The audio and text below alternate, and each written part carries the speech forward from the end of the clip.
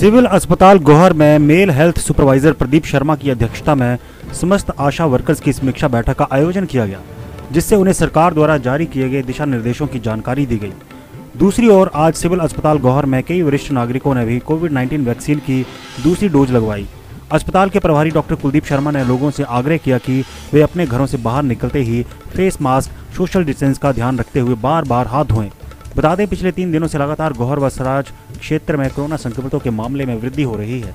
इसी के चलते वरिष्ठ नागरिकों में वैक्सीन लगवाने के लिए उत्साह देखने को मिल रहा है।